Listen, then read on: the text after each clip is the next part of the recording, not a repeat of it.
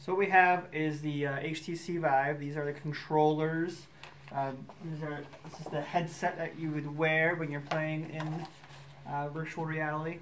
Um, so again, these controllers and the headset are both talking to these cameras that are in opposite corners of the room. Therefore, uh, this is the only system that does what we call room scale VR. It can monitor your movements if you're ducking or jumping or anything else. Um, you know, all that is reflected in the game. Uh, these controllers are simple but versatile. There's a secret little button on the side. A lot of times if you're trying to squeeze something or reload a gun, you press this little button. Um, obviously, if you're trying to fire things, I always tell customers this trigger here on the back um, is used for that, and or sometimes you use this trigger like you're grabbing something. So when you pull the trigger, I tell customers to think about it's like grabbing something with your hand. Um, and then we have a more versatile button, this sort of trackpad in the middle, and this allows people to sort of make different selections in the game.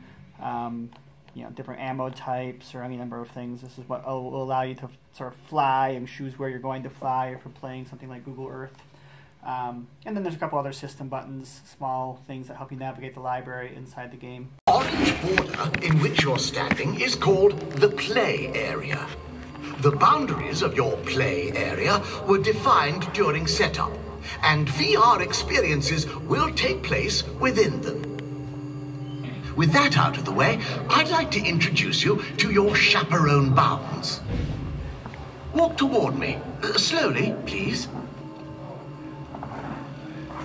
And stop. Good. The colored fence around you represents your chaperone bounds.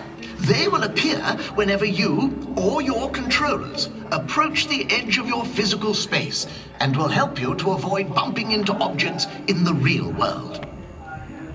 Lastly, take a small step back, just until the chaperone bounds disappear. Perfect.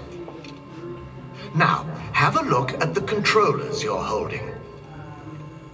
Go ahead, uh, move them around. Wave them in front of your face. They are accurately tracked to your movements. Let's go through each of the controller buttons. On the underside of the controller is a trigger button. Give that a squeeze. Oh my! Just turn that off for the moment.